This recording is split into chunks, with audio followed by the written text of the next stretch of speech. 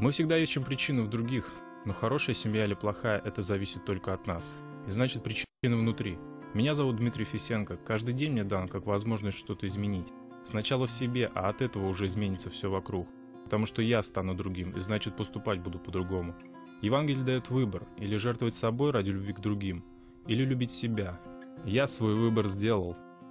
Меня зовут Варвара Фисенко. Я переводчик и мама двоих детей. Семья для ребенка как отправная точка в отношениях с окружающими и миром.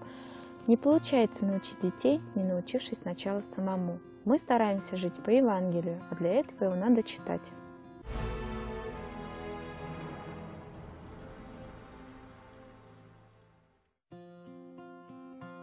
И пришел Назарет, где был воспитан, и вошел по обыкновению своему в день субботний в синагогу и встал читать. Ему подали книгу пророка Исаии, и он, раскрыв книгу, нашел место, где было написано «Дух Господень на мне, ибо Он помазал меня, благовествовать нищим и послал меня исцелять сокрушенных сердцем, проповедовать пленным освобождение, слепым прозрение, отпустить измученных на свободу, проповедовать лето Господне благоприятное». И, закрыв книгу и отдав служителю, сел, и глаза всех в синагоге были устремлены на него. И он начал говорить им, «Ныне исполнилось Писание сие, слышанное вами». И все засвидетельствовали ему это, и дивились словам благодати, исходившим из уст его, и говорили, «Не Иосифов ли это сын?» Он сказал им, «Конечно, вы скажете мне, присловие, врач, исцели самого себя, сделай и здесь, в твоем Отечестве, то, что мы слышали, было в Капернауме».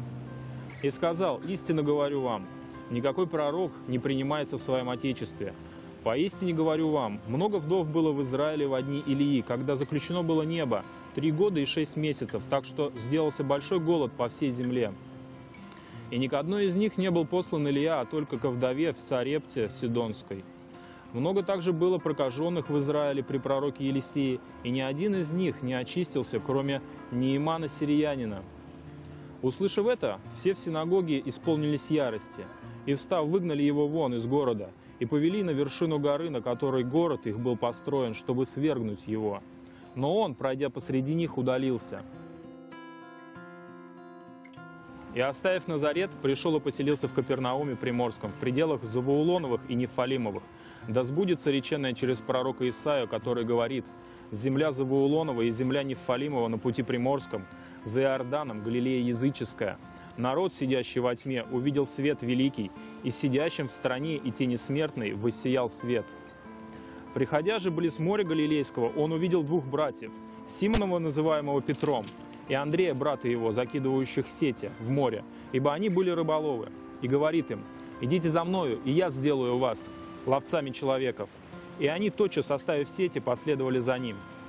Оттуда, идя далее, увидел он других двух братьев – Иакова Завидеева и Иоанна, брата его, в лодке с Завидеем, отцом их, починивающих сети свои, и призвал их.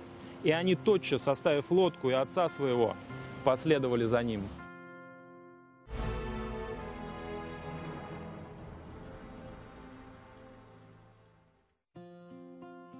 Однажды, когда народ теснился к нему, чтобы слышать Слово Божие, а он стоял у озера Генесарецкого, увидел он две лодки, стоящие на озере, а рыболовы, выйдя из них, вымывали сети. Войдя в одну лодку, которая была Симонова, он просил его отплыть несколько от берега и, сев, учил народ из лодки. Когда же перестал учить, сказал Симону, «Отплыви на глубину и закиньте сети свои для лова». Симон сказал ему в ответ, «Наставник, мы трудились всю ночь и ничего не поймали, но по слову твоему закину сеть. Сделав это, они поймали великое множество рыбы, и даже сеть у них прорывалась. И дали знак товарищам, находившимся на другой лодке, чтобы пришли помочь им. И пришли, и наполнили обе лодки так, что они начинали тонуть.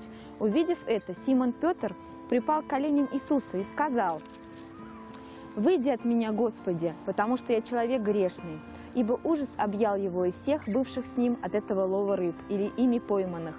Также Иакова, Иоанна, сыновей Зеведеевых, бывших товарищами Симону, сказал Симону Иисус, «Не бойся, отныне будешь ловить человеков». И, вытащив обе лодки на берег, оставили все и последовали за ним. И приходит в Капернаум, и вскоре в субботу вошел он в синагогу и учил. И дивились его учению, ибо он учил их как власть имеющий, а не как книжники. В синагоге их был человек, одержимый духом нечистым, и вскричал «Оставь! Что тебе до нас, Иисус Назарянин? Ты пришел погубить нас? Знаю тебя, кто ты, святой Божий». Но Иисус запретил ему, говоря, «Замолчи и выйди из него». Тогда дух нечистый, сотрясший его и скричав громким голосом, вышел из него, и все ужаснулись, так что друг друга спрашивали, что это, что это за новое учение, что он и духом нечистым повелевает со властью, и они повинуются ему. И скоро разошлась о нем молва по всей окрестности в Галилее.